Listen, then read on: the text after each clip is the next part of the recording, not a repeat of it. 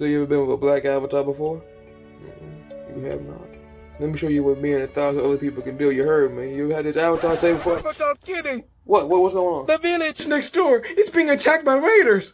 They ain't got no police or anything, cause you know I'm kind of busy right now. The police are the bandits, and it's your job as the avatar to bring peace among the streets and the police. So we need your help. Damn it, man.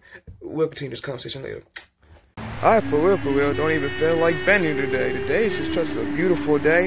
I might just sit down and enjoy nature by myself. Kidding. God damn it, man. What do you want again? We was playing football, and one of the kids threw the football all the way up there, and we can't get it. We need your help. Who in the fuck threw the football all the way up there? King Kong? That doesn't matter. We just need you to climb that tree and get the football for us. Damn, I don't feel like going. Hey, how about this? I'll give you five dollars right now. You can buy yourself another ball. You hear me?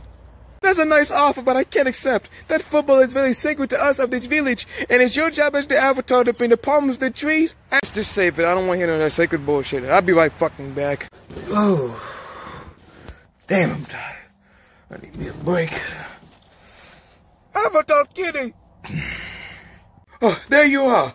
I need you to wash my clothes. And remember, don't use Bounty. That shit got my damn skin itching.